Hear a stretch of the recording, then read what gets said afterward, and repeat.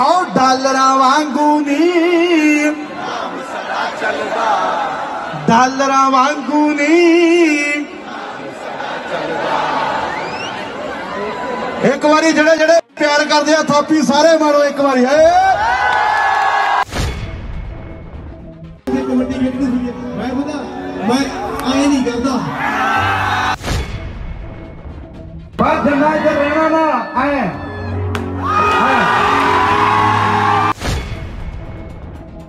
ਚਾਲੀ ਬੰਦਿਆਂ ਦਾ ਬੈਕਅਪ ਲੈ ਕੇ ਸਟੇਜ ਤੇ ਥਾਪੀ ਮਾਰਨੀ ਕੋਈ ਬਾਹਲੀ ਵੱਡੀ ਗੱਲ ਨਹੀਂ। ਤੇ ਸਾਡੇ ਬੰਦੇ ਸਾਲੇ, ਇਹ ਜੀ ਐਂ ਕਰਦਾ, ਥਾਪੀ ਮਾਰਦਾ ਵੀ ਥੱਪੜ ਤਾਂ ਨਹੀਂ ਮਾਰਿਆ ਸਾਲੇ ਥਾਪੀ ਮਾਰੀ ਆ।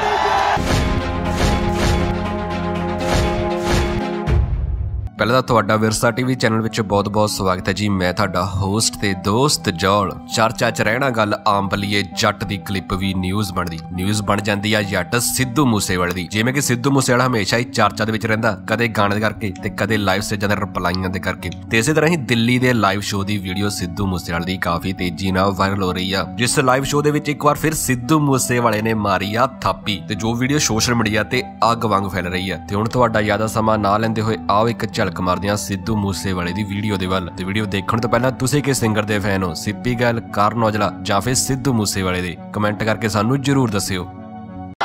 ਆਓ ਡਾਲਰਾਂ ਵਾਂਗੂ ਨੀ ਡਾਲਰਾਂ ਵਾਂਗੂ ਨੀ ਇੱਕ ਵਾਰੀ ਜਿਹੜੇ ਜਿਹੜੇ ਪਿਆਰ ਕਰਦੇ ਆ, ਥਾਪੀ ਸਾਰੇ ਮਾਰੋ ਇੱਕ ਵਾਰੀ। ਏ